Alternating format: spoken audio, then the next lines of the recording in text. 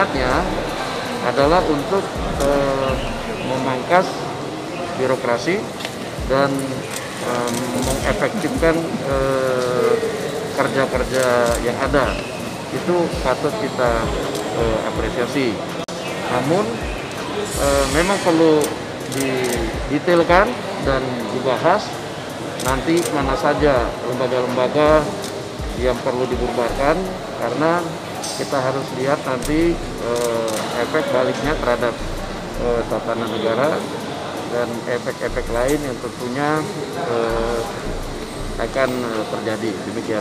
Uh, pada saat ini kalau melihat sekarang ada lembaga negara yang sekarang itu apakah memang terlalu banyak apa efektif ada bagi DPR sendiri melihatnya seperti itu? Ya memang kalau kita lihat ada sih lembaga negara yang kerjanya lambat dan ada juga mungkin yang peninggalan lalu-lalu lembaga negara yang tidak perlu.